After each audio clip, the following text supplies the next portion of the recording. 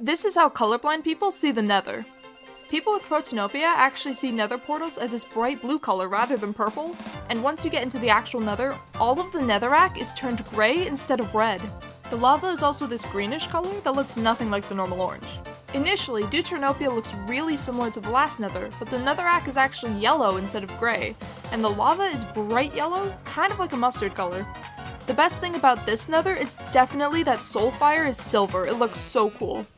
Finally, Tritanopia looks normal at first, but that's until I realized that the fire is pink, and so is all of the lava.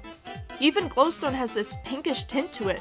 It literally looks like someone put a strawberry filter over the entire nether. This nether portal is cyan, weirdly enough. I expected it to be a warm color like everything else.